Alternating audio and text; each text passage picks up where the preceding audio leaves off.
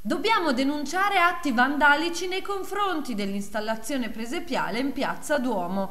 Con queste parole il presidente dell'Associazione Artisti del Borgo, Alberto Russo, descriveva ieri su Facebook quanto accaduto nella notte all'installazione in piazza del Duomo. Il presepe, lo ricordiamo, era stato al centro di accese polemiche per la forza delle immagini proposte. Sotto una tenda blu della protezione civile è infatti raffigurata una scultura di un bambino Gesù denutrito, circondato da fotografie fotografie e scatti crudi, tutti incentrati sul tema della povertà e della sofferenza.